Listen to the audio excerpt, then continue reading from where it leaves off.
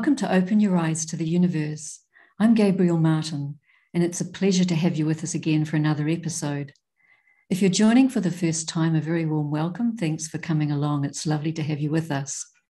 Now, the Youniverse team would like to acknowledge Aboriginal and Torres Strait Islander peoples as the traditional custodians of the land upon which we meet.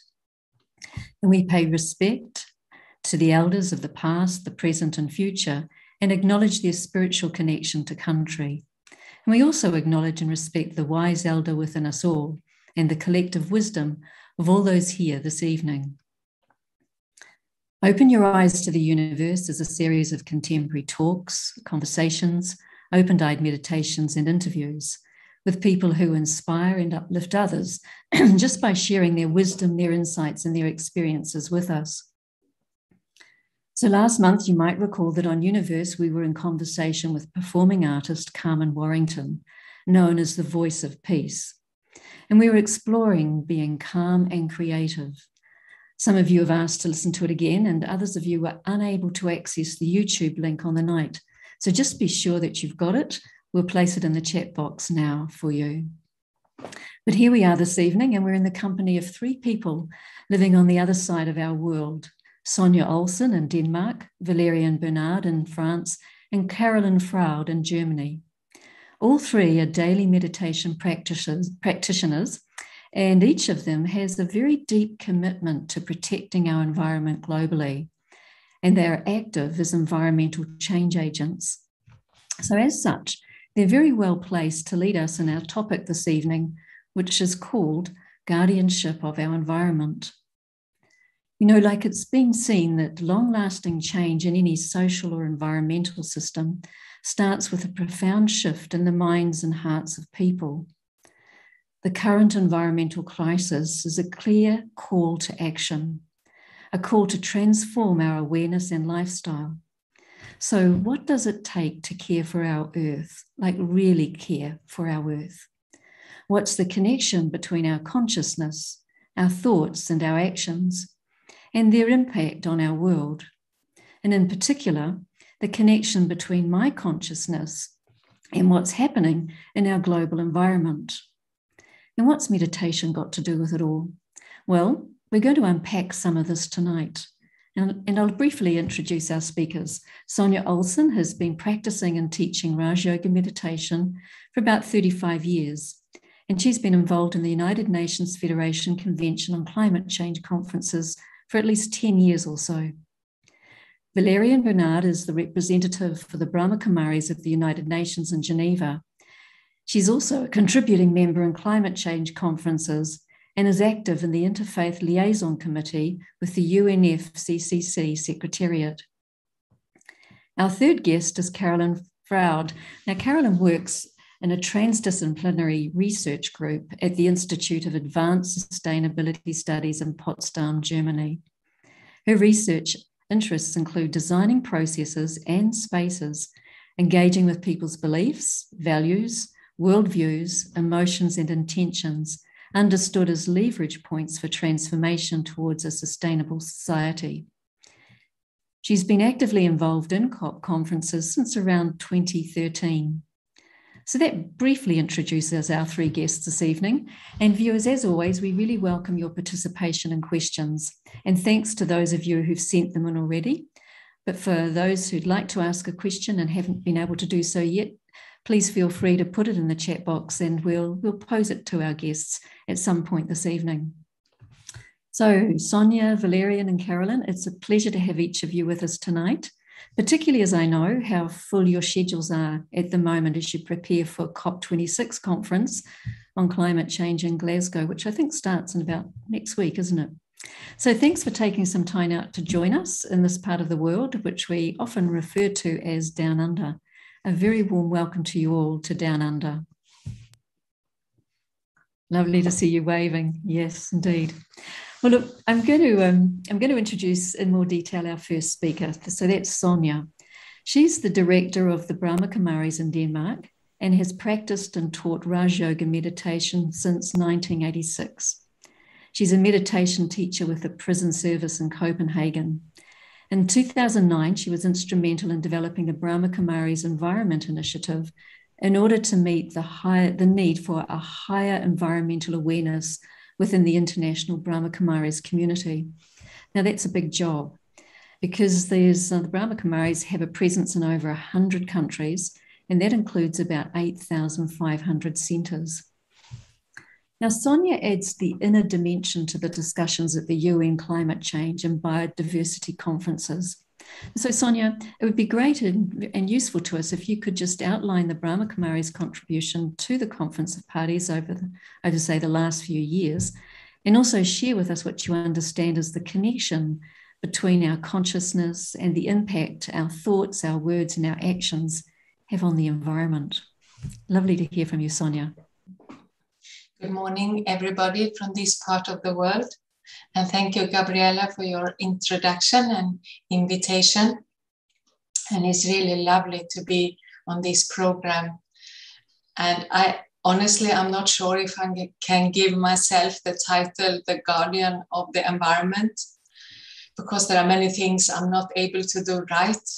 But I would love to share the things with you that I really found interesting and what lifestyle change I have made and those things I find difficult, um, I can take your help with those things. When I uh, first started to engage with the environment, it was actually a friend to me here in Copenhagen. She said, You know what you're thinking have a direct impact on the environment. And I said, What? on the weather? Because often we mixed up climate change and the weather now they are very much linked together, but not at that time, like 15 years ago. And I said, How do you explain that? And she said, Well, every thought you have create an attitude.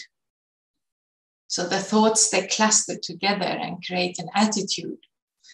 And with that attitude, I look at the world and I make my choices. And for every choice I make, I can either make a choice that support the environment or destroy the environment. And if you think about it, so many times during the day we make a small decision, we choose something. Every time I spend a penny, I actually uh, decide if I'm going to spend my pennies in something which is more sustainable or not sustainable. And every time you move around, we take a choice to do this or to do that, and in a more, more or less sustainable way. So in the end, every time I think, and we think, you know, we think 100,000 thoughts per day, I will actually uh, be part of protecting the environment or destroying the environment. And when I started to engage with uh, the environment, I really enjoyed the company of other people who find this link between the inner world and the outer world fascinating. And it's a, such a deep topic to go into. And with the company of other environmentalists, spiritual people, we started to dig deep and you, you will find, we found that my inner pollution is connected to the pollution out there.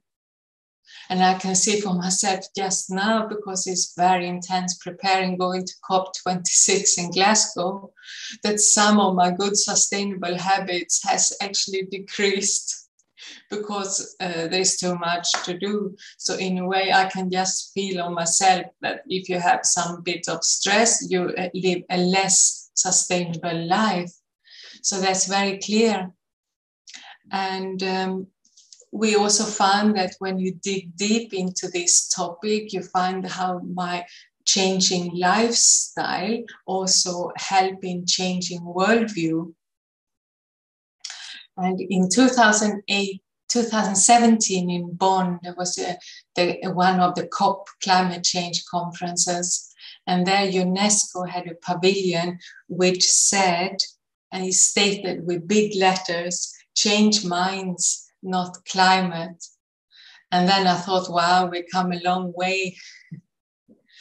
and uh, through the years engaging with the environment, I also found this principle of non-separation very, very interesting. And to dig deep in understanding this principle has also helped me on my spiritual journey. Because uh, non separation in the environmental area they would call interconnected. Everything is interconnected. And it's fascinating how we influence each other. Just even here on Zoom, uh, we are a group now of five, six people on this Zoom link, and we influence each other with our facial expressions, with our energy, and our energy is influenced by what we did this morning and our morning is influenced by what we did last night and how our night went and that is influenced by what we breathe what we eat so we are in constant uh, interconnectedness influencing each other so then of course when i understand this principle in in a deep way, I would be very careful how I influence others and influence the nature environment around me. And when I feel this close connection and interconnectedness, I also have this closer feeling, feeling of guardianship, or care and compassion. Because it would be like that that's what you feel close to you care more for. So when i'm able to feel close for all living entities nature animals people i increase my ability to care for it and i will be very careful with my thoughts and actions in that way and we started Brahma Kumari's Environment Initiative in 2009.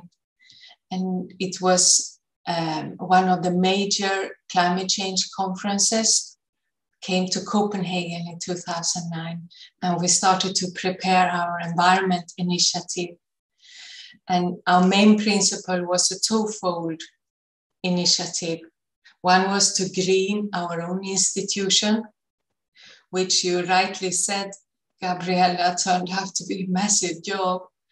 And the other one is to advocate, is to share the importance of the inner dimension of your mindset, of your attitude to the wider world and the stakeholders in the environment field.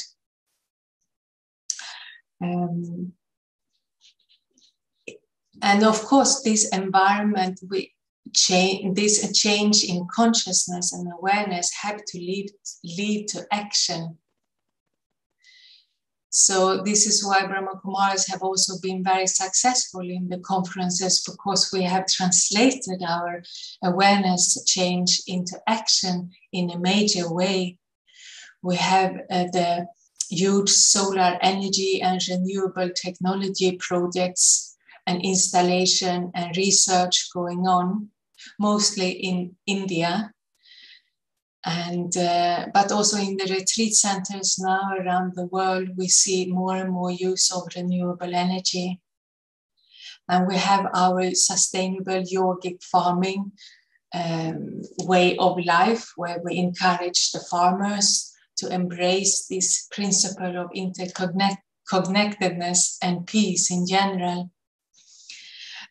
So, if awareness change leads to concrete action, people will believe you. Maybe we will believe ourselves. And of course, part of action is also to change your lifestyle and to change um, my habits of meditation and diet, etc. In our first conference, when I participated here in 2009, I saw the need of peace for the environmentalists and the activists. And I realized how stressful it is to work for the environment. You see, all statistics are going the wrong way. Whenever there comes a new report from the IPCC, the curves are just going the, the wrong way all the time. The curves are just showing increased pollution and Uh, the curves are showing more feedback loops from nature. They are showing more extreme weather events. And the more you know about this, the more stressful it is to see that, wow, everything goes the wrong way, but very little action is happening. And of course, uh, some of the NGOs and civil society also get less and less funding from the governments and less and less speaking time in the public arena. So it's a very stressful job to work for the environment. So I, we started to support them with meditation, some spiritual chit chat here and there, and just some personal coaching on how to look after yourself. And I saw that, well, here is a, a direct need for spirituality and that need has actually increased over the years in a major way. Um, just to keep need to keep an eye on the time. So um, so this has increased, and now we find in the climate change conference people are very stressed and anxiety is increasing reading the news of the environment. So yes, we are preparing to go to COP16 in Glasgow. And you are most welcome to follow us because many of the programs will, programs will now be online. So we have a physical exhibition, but those exhibitions are also uh, virtual nowadays. And this year they are focused on renewable energy and the energy transition, which will decide our future, which is one of our topics and we had some press conferences and side events in the actually COP conference. And they are called compassionate leadership towards a sustainable world or increase resilience to meet the future. And we have some workshops with the Civil Society Forum, and what some of them are called local heroes or uniting hearts to heal the world and we work together with many other organizations. So, um, yeah, I think my time is up actually, and uh, I'm looking forward to engage with all of you. Thank you. It's lovely, Sonja. Thank you. It's great overview and um, very informative, and so great to see what's happening at COP26, which you've got lined up for you there. Um, it was um, it was very um, insightful to listen to you you know your metamorphosis of how you moved from uh, not really understanding the connection between consciousness excuse me and your thinking and and how that changed you know just with engagement with others and sharing ideas and so on. I'm wondering how it was for you Carolin and Valeriane how did you come to understand that there's a huge amount of power in our thoughts and um, and therefore so important that they're channeled in the right direction how did that come about for, for both of you? Actually, Sonja will probably remember as well when um, I remember when in Copenhagen it was the first time the Brahma Kumaris were there at the COP for the climate. And we had written about um, on our um, stand uh, about consciousness and climate. And I remember people were passing and they were looking at what we had written with a bit of a puzzled face. and it was so easy to catch them if they were looking because they really didn't see the connection. And uh, every time we, we kind of worked it out with them. And I loved the aha moment in their eyes. And I loved the fact that it became, like uh, Sonja was saying, something that UNESCO took as well afterwards. So you can see how when you are pioneering on a topic, and it's an important and essential one, minds do shift. Mm-hmm. Not enough, not quick enough either, but they do. Thank you. Carolin, what about you? How did you come to understand that connection between um, you know your consciousness and what you're thinking and the impact that that has vibrationally on the environment uh, was it anything in particular or was it something that you were just surrounded with and and picked up or Well, I think I um, I started a long time to change things on the outer level. Like as a young person, I was a political activist and really fighting against different things, which were I felt going very wrong in the world, um, starting from atomic energy, but also the the environmental destruction. And um, so I engaged politically and and and as was said earlier, um, try to make my voice heard. However, I found that um, there wasn't much progress, as we can see with the climate change conferences and all the negotiations. It's the progress is quite slow. Um, and then I, I, did had a very personal experience on a demonstration where, um, for the first time, I encountered a different dimension inside myself and the power of our consciousness, which, which can be released. Because I was challenged by um, justice and, and saw a lot of injustice. Anyhow, I, I don't want to share this story here in detail, but it just it was a very personal um, experience to go to my limits of mm. trying to change something outside from the outside and then um, discovering the inner dimension and how this as Sonja beautifully shared is interconnected with um, the way we behave, with our lifestyles. And so it, it made total sense to me that I have to start actually changing myself first before I try to change politics or systems and so on. Wow. Mm.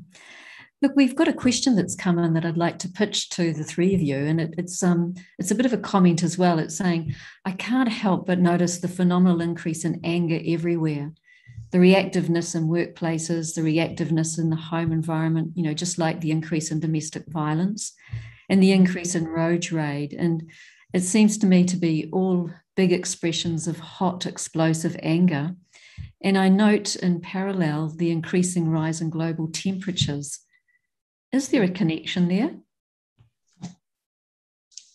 Well, to me, uh, this uh, I also feel this explosion of anger everywhere but in order to protect myself uh, and not reacting, I would think that these uh, people uh, are are afraid or insecure.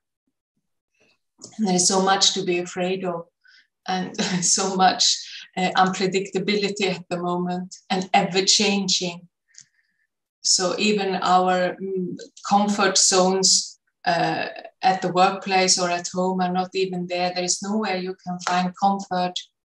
And we who have practiced meditation for a long time, hopefully we can find it in ourselves or in our practice. But if you don't have that, I don't know where to find it. So in that way, if I look at it like that, I would uh, it would help me not to become angry myself, which is the first step and then try to stay peaceful and react with love and calm down the situation. But yes, I would connect it to the climate in that way that increased uh, extreme weather events and catastrophes leads to increased fear, therefore leads to increased anger. Right, thank you for that. Um, we've talked a little bit about um, um, the the use of meditation. And I think both you, Sonja, and Carolin have talked about the uh, the personal impact of that change process of coming to understand the connection between our consciousness and thoughts and and climate change and and the impact on the environment, and also about um, you know the the stress that we experience that many people experience as they work in this field of um, environmental change and and not wanting to get despondent at the curve going the wrong way, as you said, Sonja.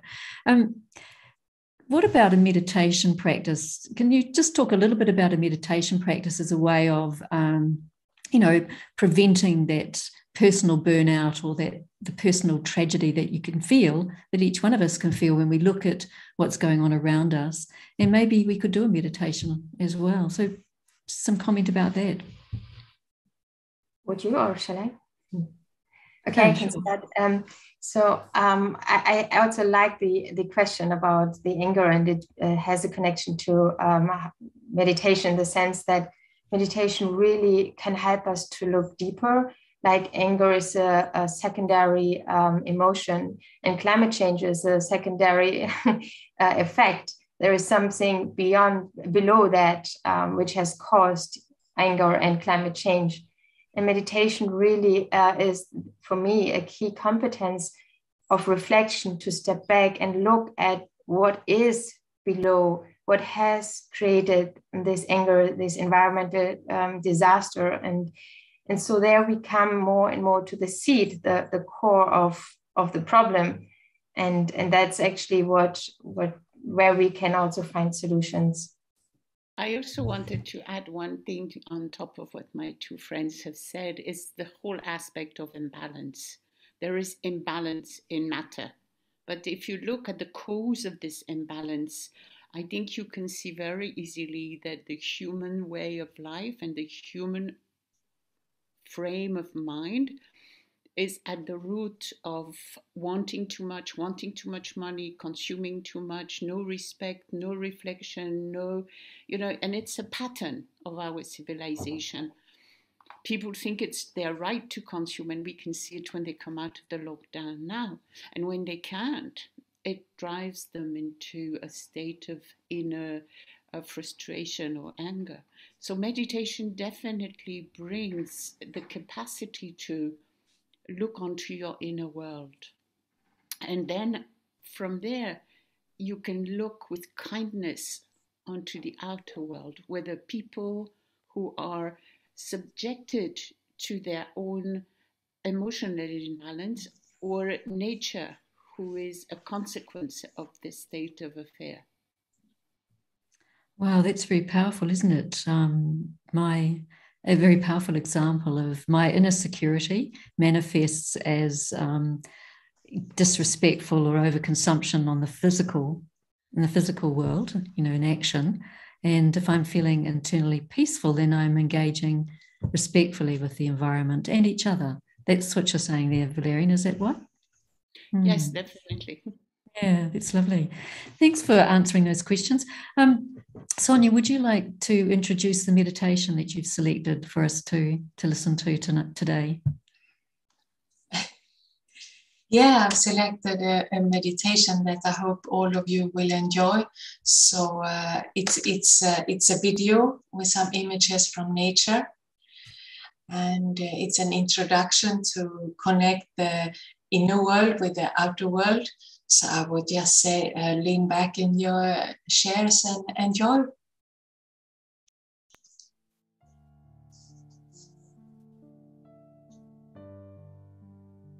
In my mind, I go to a place in nature, a place of greenery and peace.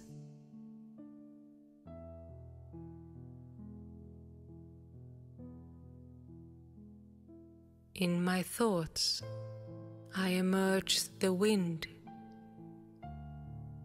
and I can hear the leaves of the tree moving in the breeze.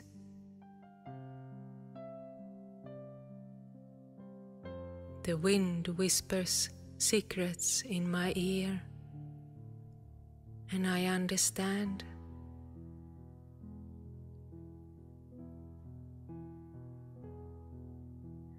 I can feel the sunshine on my face,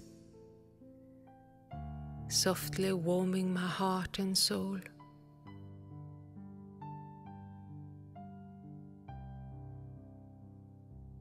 The birds are chirping in the background and singing songs of happiness and joy.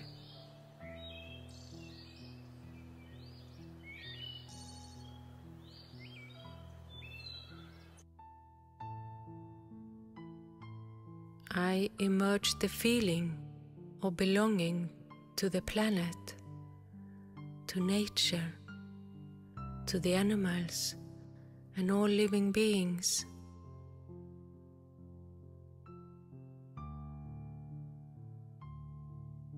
I feel safe in being forever connected to this global family of all living beings and being connected to the world around me.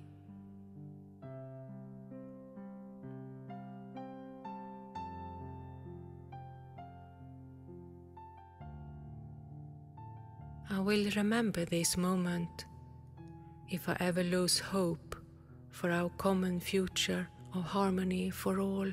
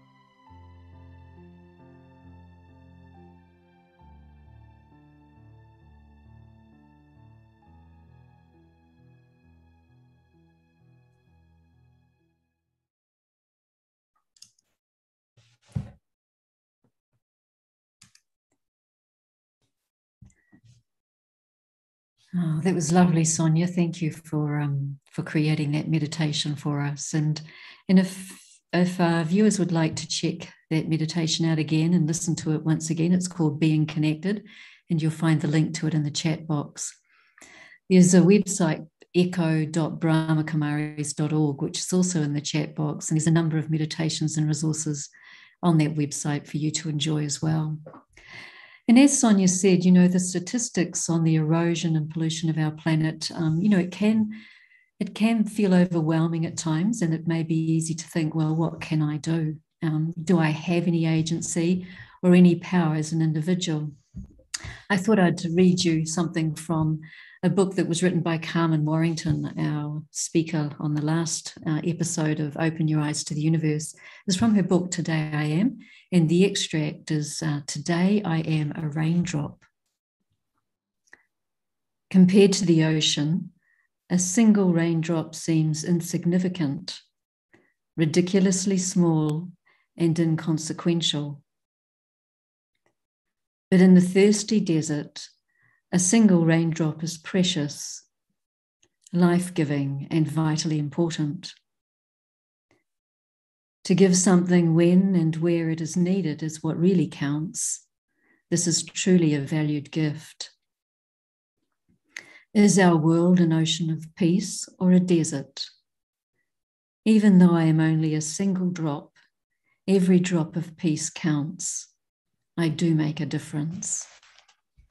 So, something to consider that yes, there's a key takeaway in all of that. It's that I can make a difference, and collectively we can make a difference.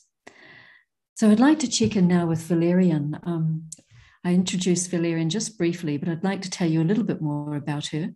She's one of the Brahma Kumari representatives in Geneva, and she's been a contributing member with the climate change conferences since I think about 2009. Uh, Valeriane's particularly interested in the power of spirituality and faith. She's active in the Interfaith Liaison Committee and the UNFCCC Secretariat, and is also a co founder of the Geneva Interfaith Forum on Climate Change, Environment, and Human Rights. Now, that's an informal group of faith based NGOs reaffirming the importance of ethics and the responsibility of each individual and nation to care for the earth and address climate change and its impact. Valeriane's also produced radio programs on the theme of culture of peace and the effects of spiritual awareness. Since 1992, Valeriane's been involved in the ecological movement, raising public awareness about the impact of our relationship with ourselves and the environment on sustainability.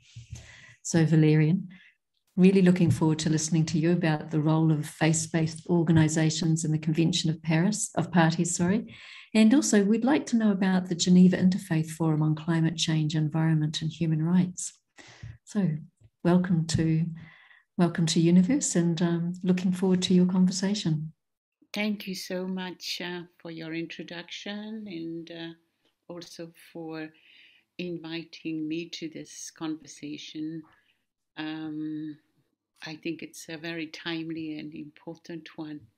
So thanks for creating it as well. Well, when we initially talked also, Gabrielle, you had asked me to explain a little bit our relationship with the United Nations because I think it's not always easy to understand when you're not working there. Um, so Brahma Kumari is an international non-governmental organization called NGO with the United Nations, accredited with general and consultative status with the Economic and Social Council, which is really a very high status in the NGO status. So what I would like you to, to hear what is the task of an NGO? Because we hear about NGOs all the time.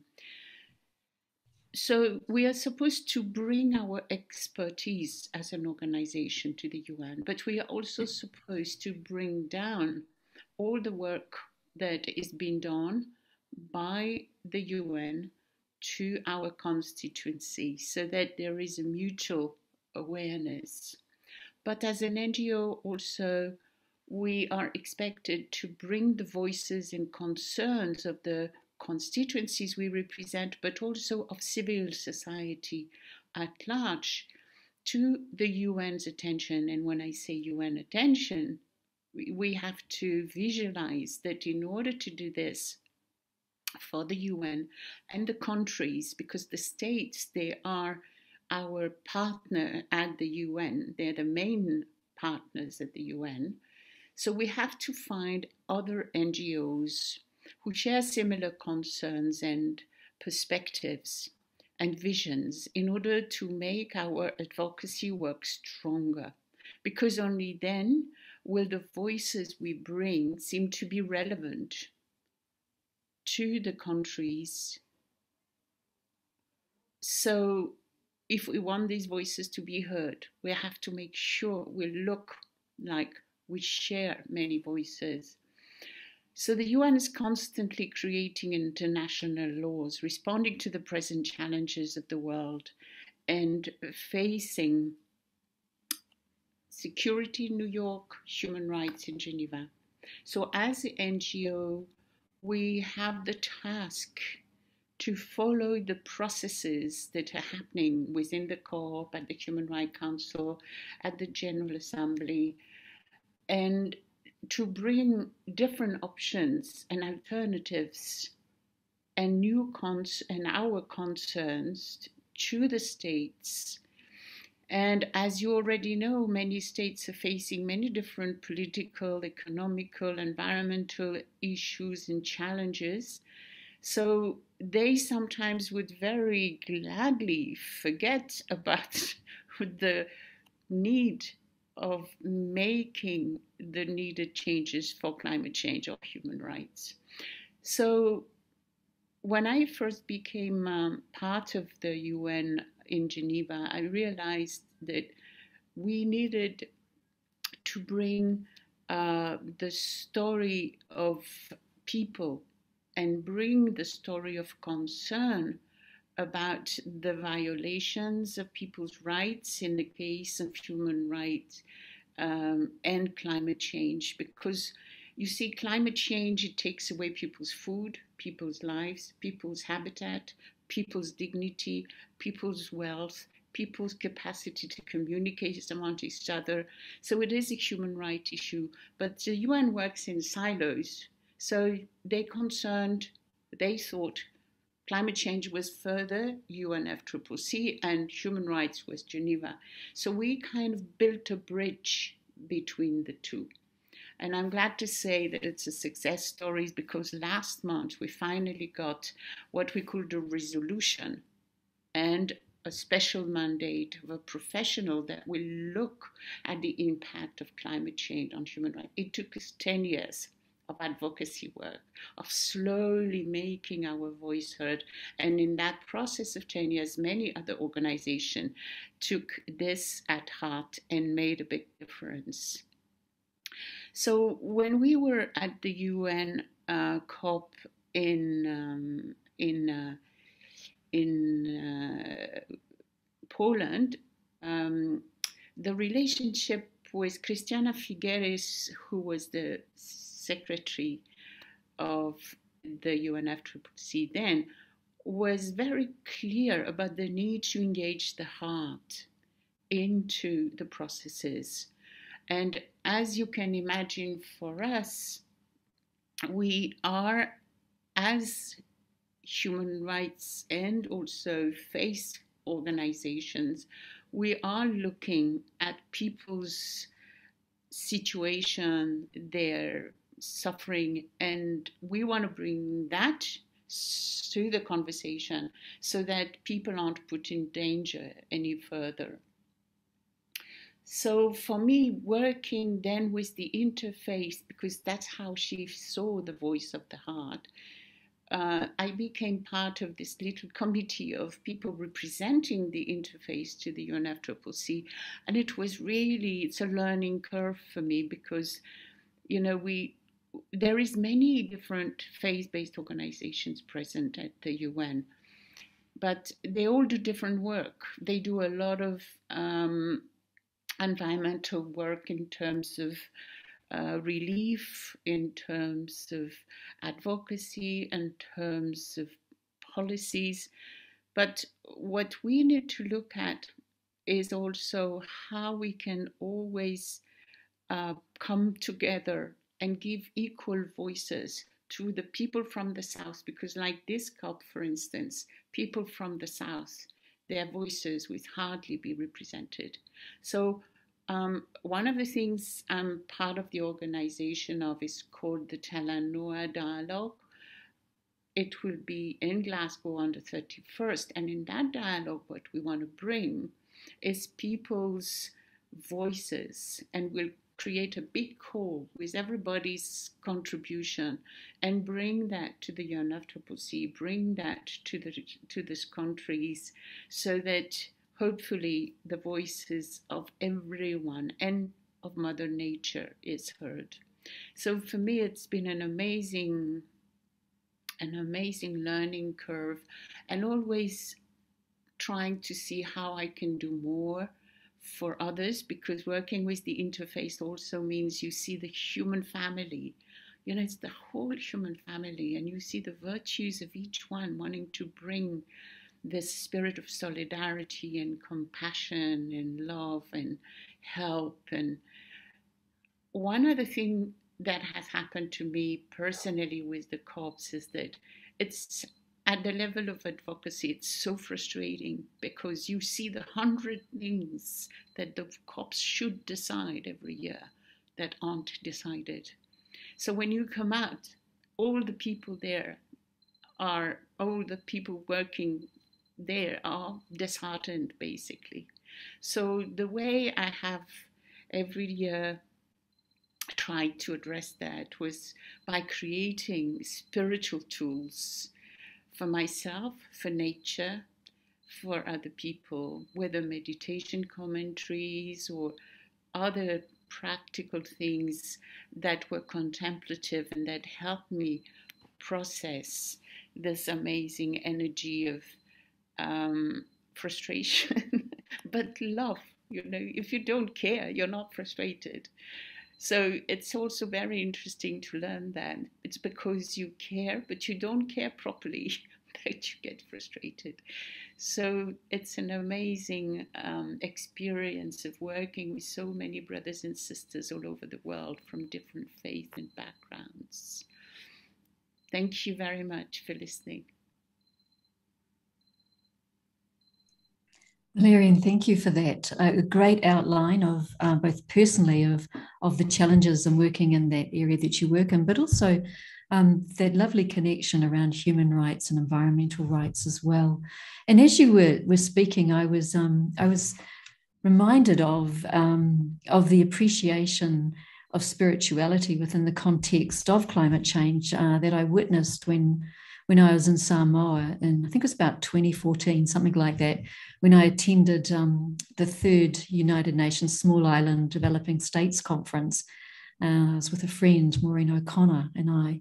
And, you know, of course, the Pacific Basin, um, you know, many of the, um, not many, but a lot of the Pacific Islands are facing, um, you know, soil erosion and, and land, decreasing land sizes as sea rises um, as as temperatures rise and the sea levels rise as well. And um, yet there was some incredible resilience there in Samoa and a beautiful warm heart that I noted that um, and when we were delivering our workshops and seminars and things and engaging on you know developing a peaceful footprint um, and spirituality and climate change um, it actually had so much appeal in Samoa that um, the local newspapers, to our surprise, you know, gave it um, page one status on the newspaper, and the World Bank was page ten.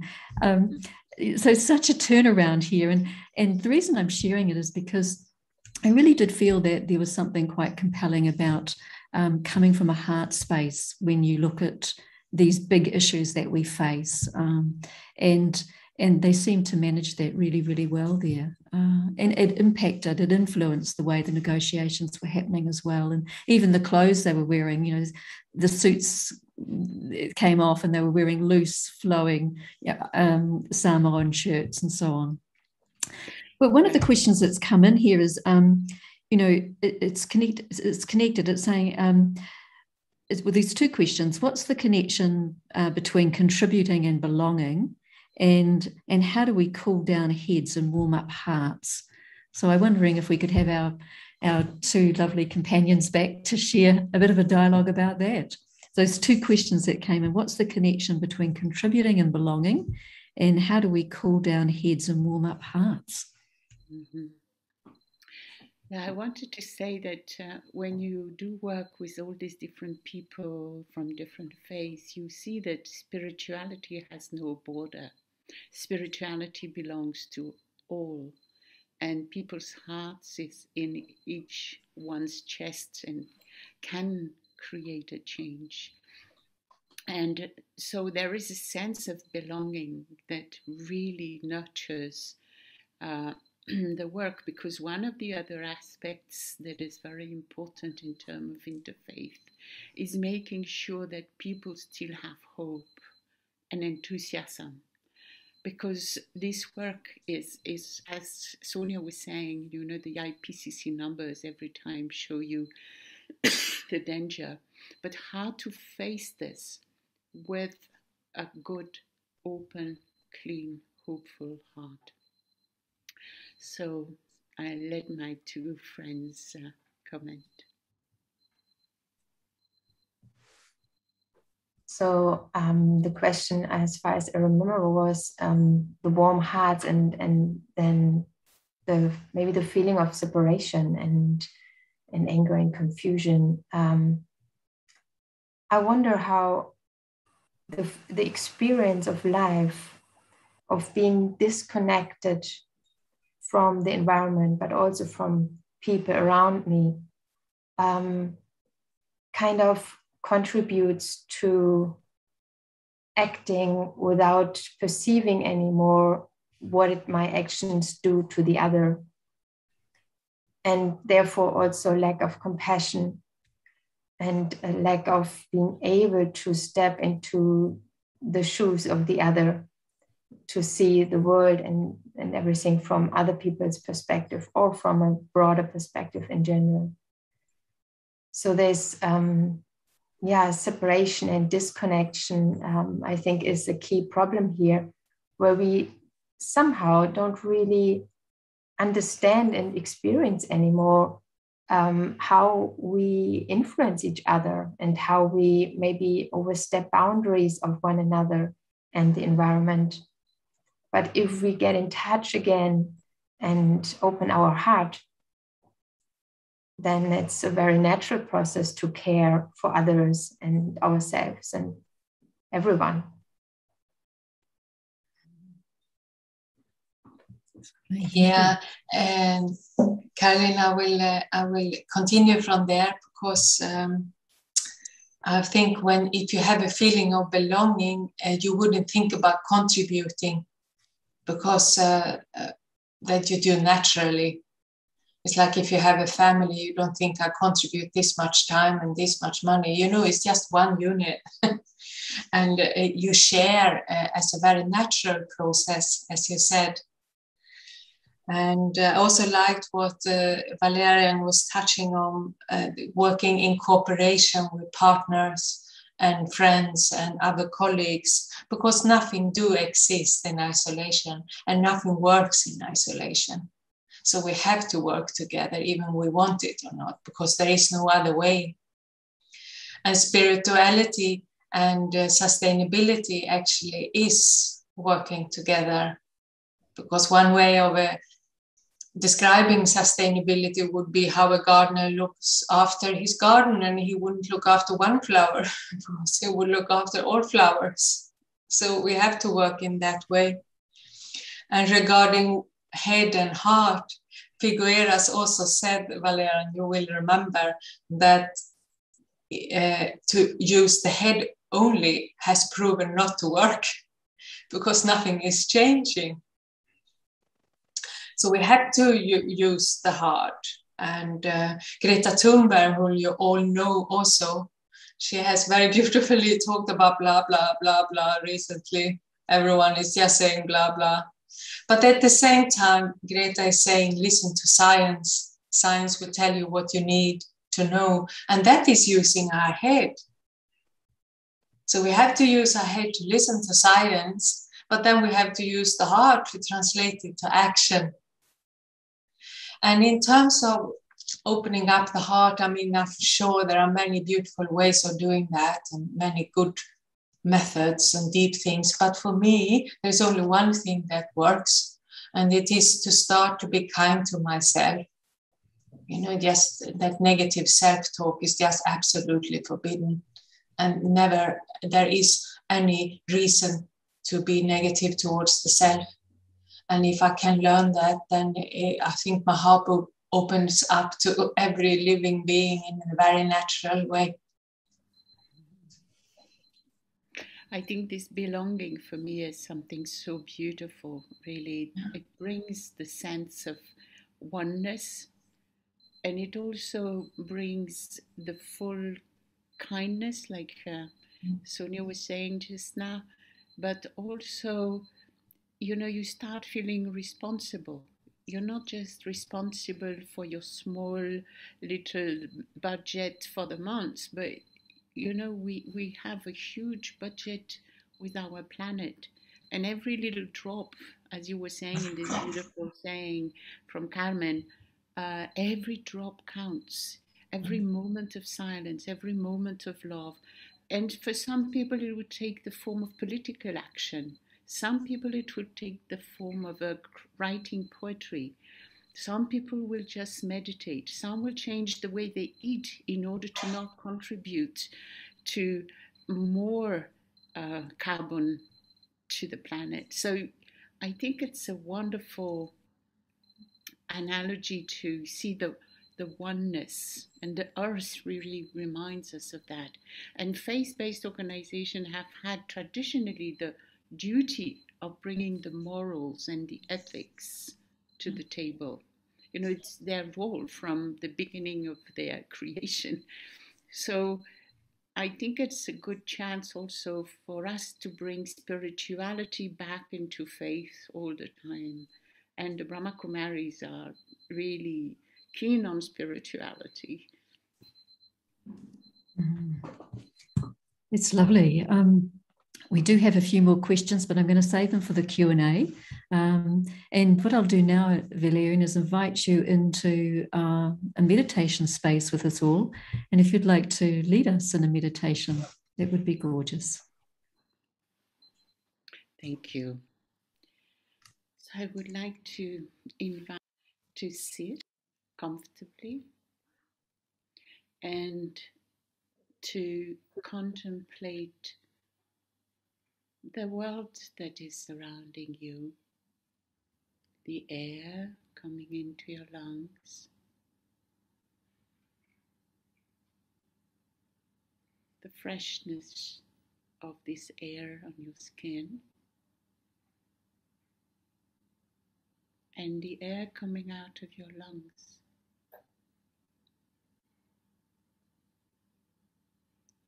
And in this awareness, I appreciate with gratitude this nectar of life shared by the plants and all Mother Nature, allowing me to keep alive. allowing me to be healthy. And now I go within my inner world, within my inner dimension. Inside me, there is a whole universe as well, a whole potential. Potential of peace, potential of love, a potential kindness. Every thought matters. Every thought is a drop of goodness that I can contribute. And yes, matter does resonate and other people's awareness also resonate to each powerful good thought we utter into this universe.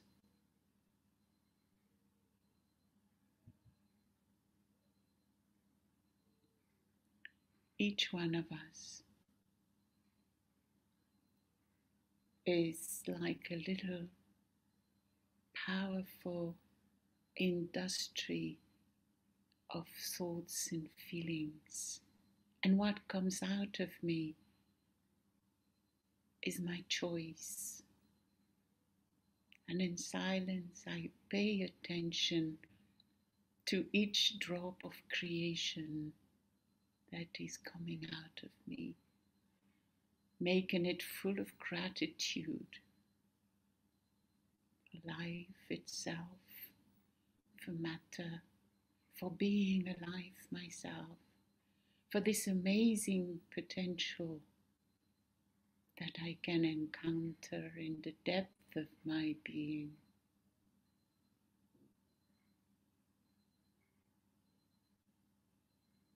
At each moment of inner connectedness my heart dances with joy. And in this dance, I invite Mother Nature. I invite in this dance all my brothers and sister humans, but also all other forms of life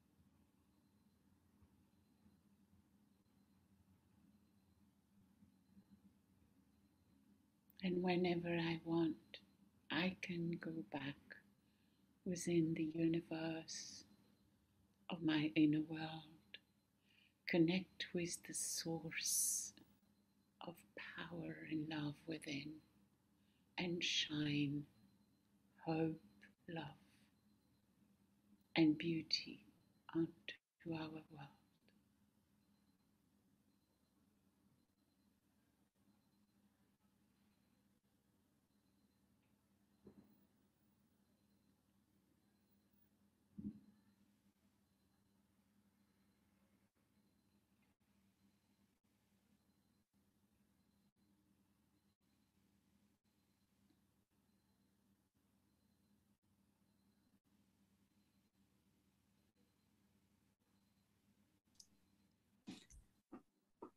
Thank you, Valeriane. It was a, a lovely movement into the inner space, the world of the inner space. Thank you for sharing that one.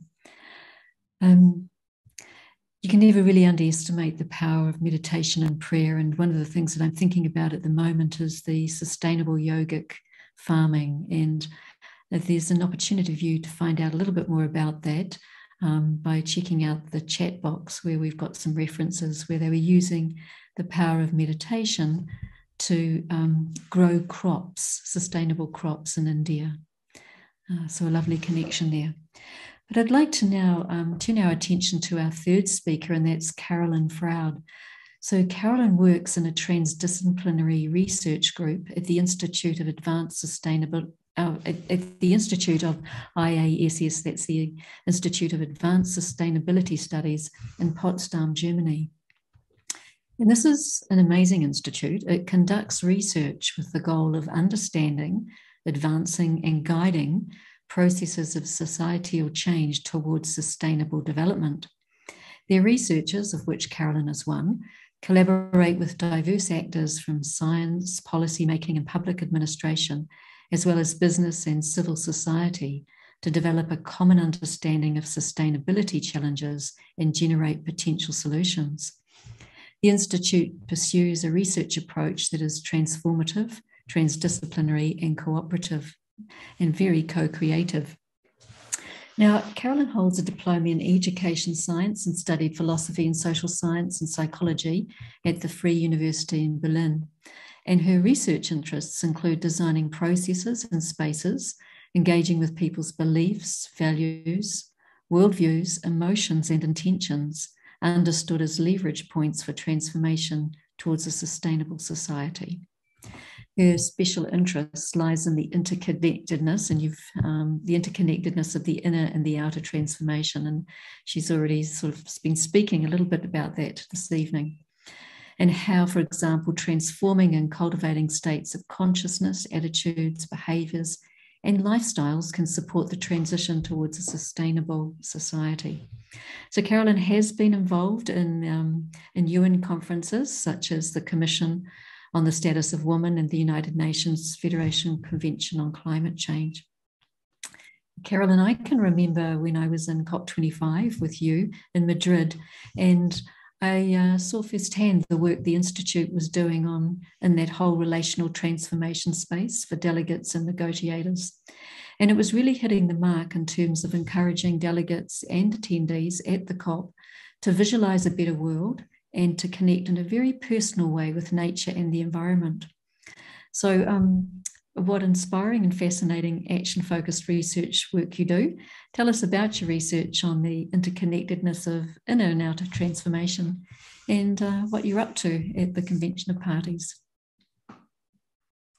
Thank you so much, uh, Gabrielle, for actually creating this beautiful space here. It's um, actually connected to what um, the institute I'm working for is doing at the COP because um, it's a reflective place, a space. But let me start giving a little bit of a context and also connect to firstly what Sonja and Valeriane has said, um, so that um, yeah, so Sonja already described beautifully um, the interconnectedness be, between our consciousness and behavior, which is a core spiritual understanding, um, but somehow totally lost um, in our day to day life in our modern Western world, and especially in science and politics. And Valeriane very nicely shared how faith based organizations have been working hard to bring in the soft, the, the hard aspect, um, the feeling aspect into this very um, um, tensed and and not very friendly environment of UN conferences or multilateral conferences, um, such as as the climate change conference. So um, it's interesting that I mean, following from there, I would like to complement this uh, by bringing in um, the angle of science and politics and, and see how um, traditionally um, have uh, understanding have has been produced here and, and solutions have been produced here, but not really led to somewhere um, which, which is really transformative. And then I like to touch upon um, a relational understanding of transformation and, and the research I'm doing.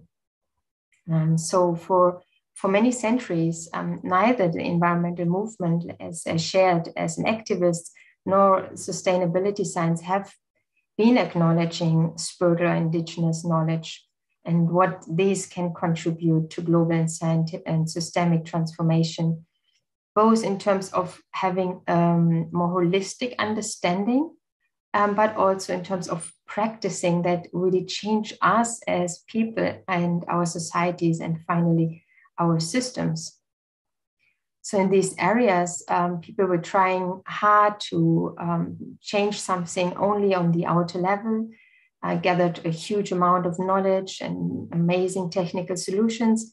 However, for decades, neither scientific knowledge nor political frameworks like the SDGs, the Sustainable Development Goals, or the Paris Agreement really has led countries and societies towards a fundamental change, uh, transformation. This is not at all surprising from a spiritual perspective because uh, we, as we have heard already, um, are very aware um, that you cannot only change things on the outer level if you not also change your worldview, your consciousness, and, and the way you um, live. So, um, since science, technique, and politics and many other areas have ignored the inner dimension for a very long time. Um, that's why we cannot really um, see much change. And I think actually this has come from the era of enlightenment, um, where uh, West in the Western world, very consciously, uh, religion, uh, spirituality, philosophy have been separated from politics and science. And partly for very good reasons, because um, uh, religions sometimes had become, or often had become manipulative and a tool to suppress people. However, it's like kind of kicking out the spiritual dimension completely. It's like throwing out the baby with the bath water, and uh, we've gone to the other extreme. Um, like analysis and, and rationality have been totally overestimated in their what they can do um, in terms of change in feelings, the impact of feelings and perception and consciousness have been ignored. Probably the only area which has um, Im- has been aware and using the impact of the inner dimension to a certain degree has been media and marketing. However, again, in a more manipulative way and making more um, um, production and, and selling things better.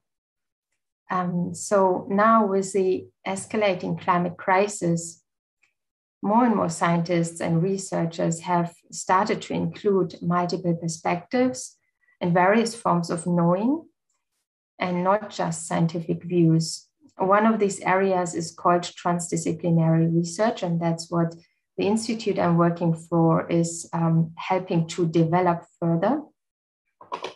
And um, here on the one side, it's a participatory reason to include others and different perspectives um, within, within transdisciplinary research.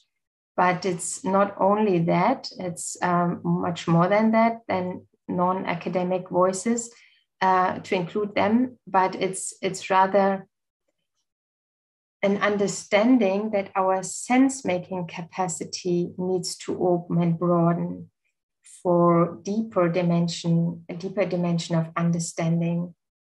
And you can say it's a more holistic sense making and in more harmonious world perception that we actually need. And we have been touching upon that as well in terms of, you know, connecting with the other and perceiving boundaries and therefore also having compassion when um, other people are suffering or the environment is being destroyed. So um, there have been practices um, in, in the past in different contexts. And I think one of the person which I really um, acknowledge and, and uh, admire a lot is David Bohm and his uh, dialogue format. And here it's again coming from an indigenous um, people's practice where a group of people connects together, sits down and meets in a way which is beyond um, their task or their roles and just shares what they perceive and see. And everyone is listening. It's a listening practice wholeheartedly. And with that, it's kind of you hear more and more and more perspectives, very different perspectives and perceptions of, of other people. And it's like your own consciousness, your own perspective opens and becomes wider and that's one of the things we um, do at the climate change conferences. We create spaces where people can encounter with one another in a way which is more human, you can say, um, where it's beyond their agendas, what they have to, you know, advocate for, but just as human beings who are all sitting in the same boat. And it's interesting to witness that um, here we can we can see moments of transformation when people suddenly um, step out of their silo view and see more and very fundamental like very basic um, values and and um, things which connect us uh, have been are emerging again which are actually natural to us so this is one of the things um, we, we offer at the COP and it's also, of course, a critique on, on how the COP has been organized. Um, it's not very, it's not uh, supporting a culture of collective thinking and a, a culture of, um, you know, really thinking out of the box. Um, so that's what we are trying to do there. Um, it requires um, respect uh, a lot for one another and an openness and willingness to see things new, which is not always easy for people because we are usually um, like to think in the way we are used to think. Um, but I think the need of the time is really pushing us there. And once you engage or pe- we, we engage people in these in these dialogues, um, they also see that there is something suddenly touched and nurtured within, which has been unnurtured for a long time. And this is a very human and beautiful um, part within us. So I like to um, pause here and invite you to just take that moment while you are sitting in front of your computer or your mobile phone and listening to this um, this dialogue here and see how you experience yourself listening, connecting with all of us in the moment of awareness, how that changes your normal thinking. It's a very simple practice, but very, very um, valuable, something which we should cultivate every day. It's a form of meditation, but it's a also a practical form of um, not looking through belief your, your beliefs sorry um, but rather looking at your beliefs and worldviews. And that's a different thing. You step back you have a, like uh, you observe rather than you're in that mindset and, and belief system and this is when you when you open and listen and, and, and open yourself up for different perspectives. So we have actually um, also produced some uh, scientific papers on that um, of the culture of um, being and working together. a more connected one and how that can be created. We are now moving to a new research phase in our work where we look at what practices and approaches help creating these kind of safe spaces and um, these, these um, spaces where deeper insights can emerge and transformative shifts can happen. And um, maybe there is a chance to share these papers, and there's also policy brief to the United Nations um, Framework Convention on Climate Change, how a COP can maybe be organized a little bit differently. So I think I stop here. Um, I'm not sure how we are with time, but please, uh, you can also ask or, or pitch on something a bit more.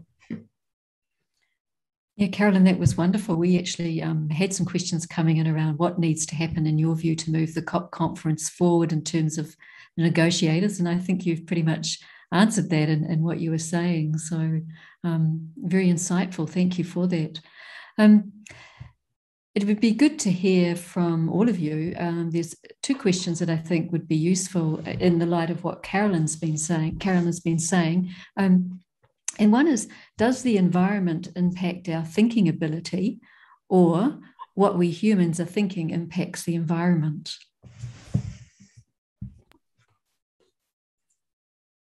So, um, well, I think both. It's an interconnectedness, as it was mentioned.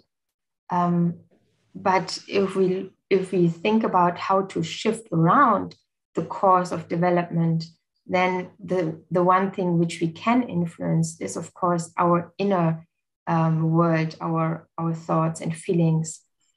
And by starting, for example, to connect with our inner self, first of all, because the disconnection from the environment is also a disconnection from ourselves. And, um, and then other people. So that's like the leverage point for change is within myself but you can also say that now the environmental crisis kind of forces us to look for this other dimension which we have ignored for a long time. What do you think, um, Sonja and Valeriane? I was actually remembering our dear Dadi Janki when she came up with this amazing little phrase when I change, the world changes. Uh, it really shows the impact that um, we want to have can only happen if we create an impact in our own selves. And um, we can change the way we think, as Carolin so brilliantly explained. And we, we then have the capacity to bring that also into practicality. So you can see the way we eat, we can change that. We can change the way we consume, like Sonja was saying earlier on, we can change our relationship with nature. We can change also our relationship with, with ourselves, like this kindness that we already have spoken about. And I think the impact um, is, is great onto the world out there, but also it makes us better voices to advocate change. Thank you. It's a very good question. And at the moment, I am doing a lot of decluttering in my house and in other houses. and I realize that uh, your local environment in your house, how much it affects uh, the mind. And uh, I think this is a good exa- example of this both ways. You know, my cluttered mind creates a cluttered flat and opposite if I start from the outside. I declutter my house and my wardrobe and my cupboards and everything. And then it actually decluttered my mind and left much more space. And in this space, I have uh, space to go deep into some of the aspects and space to look at myself and create some deep changes. So it's always both ways. We're always connected in, in, in every way. And also liked, I want to comment on what uh, um, Carolin said about sense making. And it has to make sense to us. And I think in order to create a long lasting change, uh, it also has to feel good. This uh, uh feeling good uh, um, feeling is what makes you continue with your new habit. Because I can read about a new lifestyle habit or diet habit, but if it doesn't feel right, I will not continue. So here in Copenhagen, when we started the 10 years ago now, not everyone had eco-friendly cleaning products. So we did what everyone else did in, to prepare for the conference. The whole city went green. So we also did here, we changed every way we, we print and how we clean the center. And I thought, I will not say anything to the group uh, afterwards. I will see what happens. So everyone continued to use eco-friendly cleaning products or homemade mm. or very little. And then I asked why. Well, it just feels better. You know, there was no direction, no order, no instruction, no group decision. It was just felt better. So this mm-hmm. also has to be there. Mm-hmm. And also in this relationship with nature, I can see, you know, when the when people came out of this, um, of you know, being in the curfew and all this COVID situation, people just wanted to consume and they wanted nature to give them whatever they wanted that was their their right, you know. So I think that the climate change is posing us with this question: Is is, is nature a right or is nature more than just a right to consume but something i need to care for and something i need to respect and value? And it's it's just a paradigm shift that happens I, I would like to uh, comment on the question actually in the chat uh, about vegan and vegetarian food um, and why the Brahma Kumaris are not um, promoting uh, stronger veg- veg- vegetarian or um, vegan food. Um, and I would like to say that um, that's actually to do, I think, with our understanding of, of transformation. I mean, first of all, we do promote vegan food, and I can say from our Brahma Kumari Center in Berlin. It's 99% vegan. Um, nearly everyone is only taking um, oat milk and stuff like that. But um, we, we have very deeply uh, in, in, in our understanding that we can only promote something um, when I live it myself. Otherwise, it's like preaching something which is not real. So, as not everyone in the Brahma Kumaris has turned vegan, even though vegetarian is uh, no point of discussion, that's totally clear, um, then it's like something which each one promotes for him or herself or, or says from her own practice. And um, the Brahma Kumaris are having a strong um, root in the Indian culture, and there in the Indian diet, you use a lot of milk. So it takes time culture cultural changes take time. That's very human. And it takes understanding it takes knowledge but it takes also um, really the inner effort to to um, yeah change your patterns of behavior and your likings. And yeah sonja Thank you, very nice. I also wanted to comment on a question in the chat that what can we do? Please give us some action. And actually, you know, uh, it's just out there. Environmentally friendly lifestyle is just out there. You can just one click on Google and you're there. And so I don't think we have to wait for each other to tell each other what to do you know, because if I have to tell you what to do, you will do it as long as I'm around. And when I'm not around, you will not do it anymore if you don't sort of become your own. So, no need to wait for anybody else to, to tell them what to do. Maybe and, yeah, one of the things that um, as as we're moving uh, close to time now, if you just each of you share one thing that you do um, in your regular daily life that you do personally that you um, understand and feel and completely believe and have faith in that it is contributing um, to a positive impact on the environment. Just, just one thing to share. I think, um, I mean, one practical thing, uh, I decided now from Germany to go to Glasgow via train. And I'm very excited about that. I, I mean, I usually would fly. Um, that's our uh, normal way, but it takes me 16, 18 hours, something like that. But I'm so much looking forward to it um, now. It, it was an environmental reason, of course. Going to a climate change conference by plane is a bit um, difficult. I mean, it's a bit, uh, doesn't feel good. Um, but um, it, it's really a shift around also to see it as an adventure it's beautiful. Uh, there's so much, you have more time, you have less stress.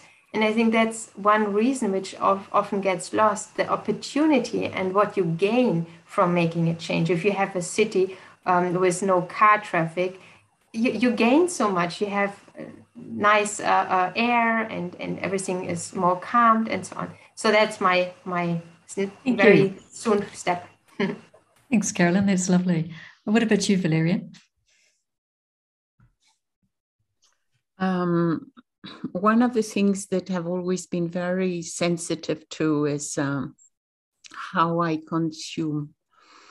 So, for instance, water is is one of the amazing thing that nature provides from us, uh, and I really try to drink with awareness and to look at the water with all the different messages it's going to bring into my body and to try and align first and create a water that's going to be safe to drink through the power of thoughts. And Emoto's work has been amazing around the impact of water. So um, mm-hmm. it's a simple action, and it, it's it's really just a, a reflection and a love story that I want to create. Mm, that's gorgeous. Thank you. Thank you, Valeriane.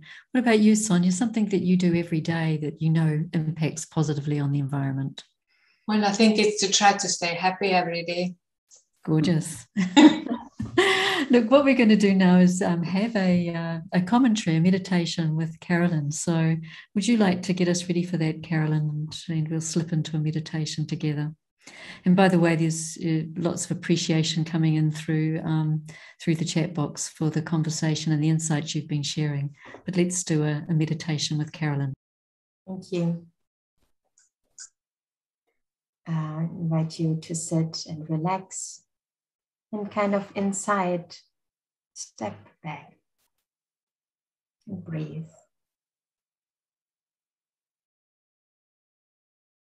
I visualize myself on a nice armchair and sitting inside myself and becoming the observer of all I can perceive right now.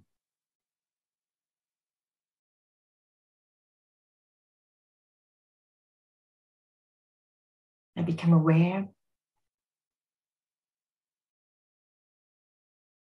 that I am a being, a living being. I'm consciousness.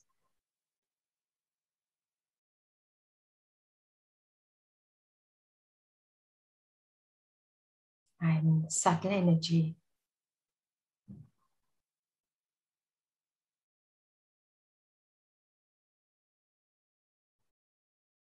And my mind calms down more and more.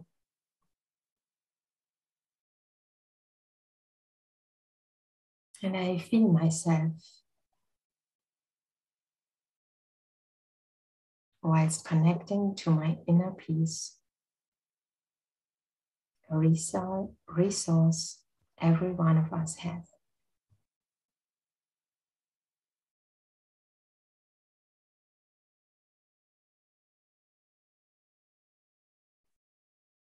Stepping back means also to let go. Letting go for a moment of the outer world. Letting go of my ideas, my thoughts, what I want and like. And relax.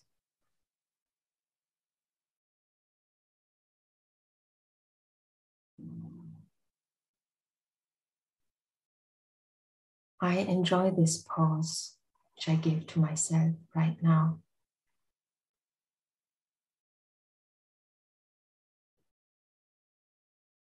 I enjoy the company of myself, the being I am.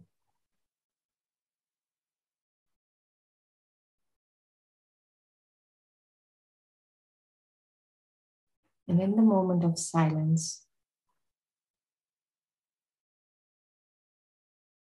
I connect to my heart.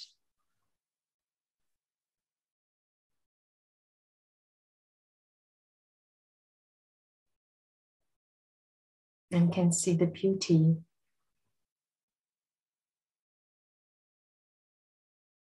I have inside.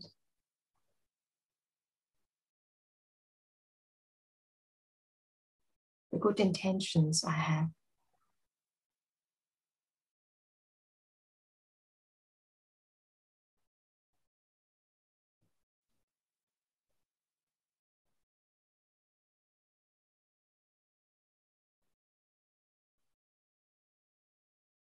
It appears to me that what is really important to life, what is really important in life, is very simple and it lies there within me.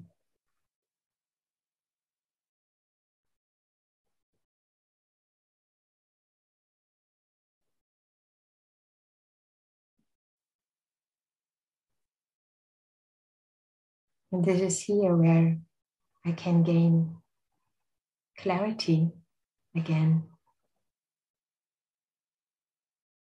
When my life seemed to become very complicated.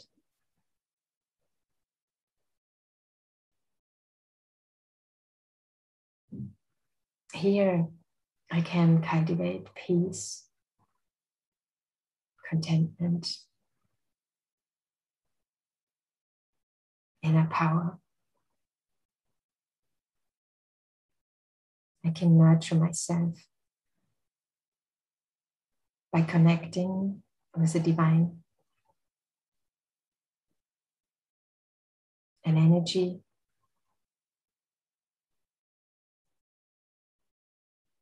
which is alike to the energy of myself. And it just feels good to connect, to reconnect, to deepen, and to allow it to sink deep inside myself.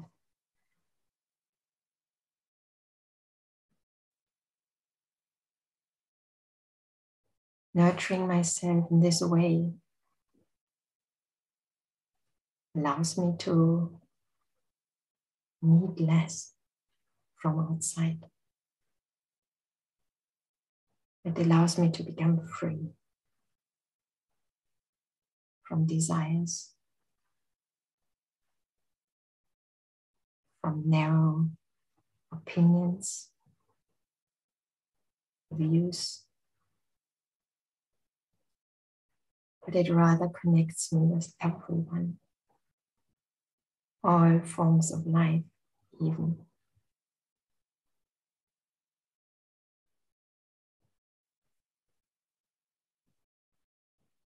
So let's stay in that consciousness, even when we come back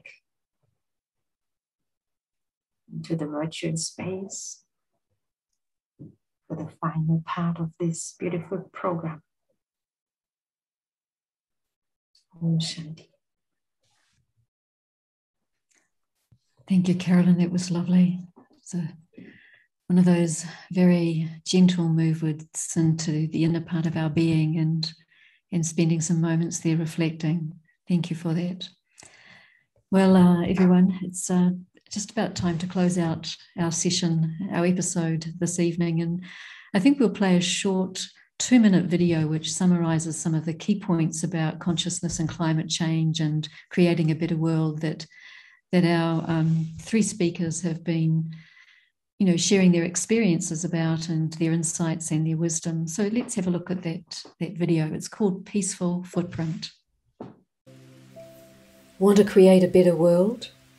Want to live with security, belonging, peace, justice, understanding, and respect for all people, all living creatures, nature, and the environment? Want to create a peaceful footprint? It starts with my consciousness. Peaceful consciousness leads to peaceful thoughts. Peaceful thoughts lead to kind words.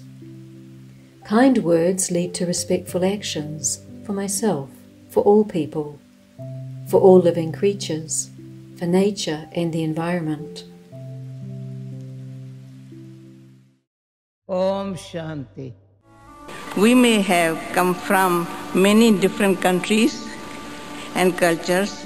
Within our hearts, I think we hold the same vision of a better world, of greater security, peace, justice, understanding, and respect for all people. Houses can be built with the bricks, but it is what is in our hearts that builds a lovely home. Once we have seen in the eye of our mind that such a world can and should exist. Make it happen.